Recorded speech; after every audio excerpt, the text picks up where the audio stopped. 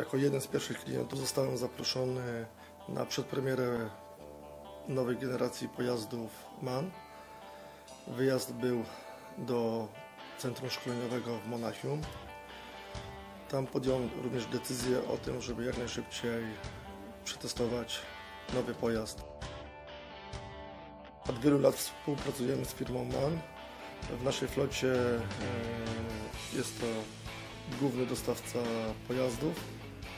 Pojazd będzie użytkowany przez najbliższe dwa tygodnie i chcemy jak najwięcej informacji zdobyć podczas tego testu.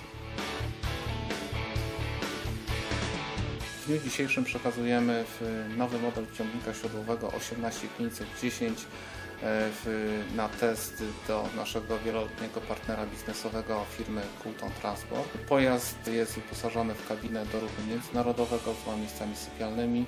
Jest e, napędzany silnikiem o mocy 510 koni.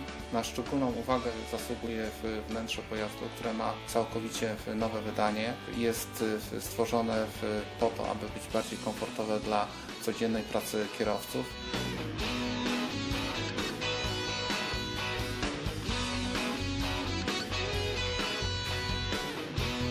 Jesteśmy pewni, że pojazd spełni oczekiwania klienta. Dodatkowo zapewniliśmy wsparcie kierowcom w postaci szkolenia Profi Drive po to, aby każdy z kierowców użytkujący auto precyzyjnie wiedział, jak wykorzystać wszystkie atuty naszego pojazdu.